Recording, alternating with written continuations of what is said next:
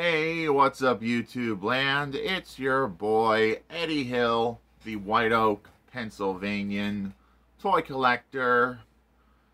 And no, this is not a review. I just wanted to talk about my excitement for next week, which is Steel City Con.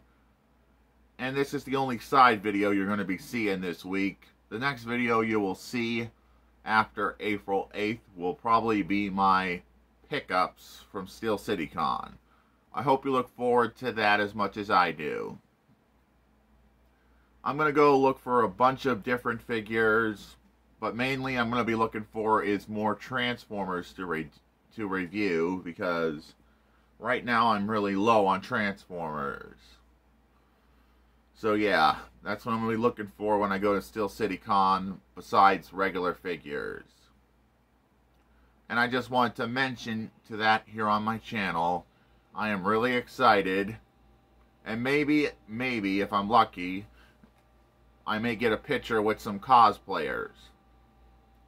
But now we're going to end this review, not this review, this video.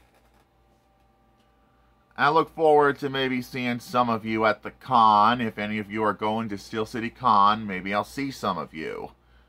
But other than that, this is Eddie Hill moving on and rock on and rock out YouTube land.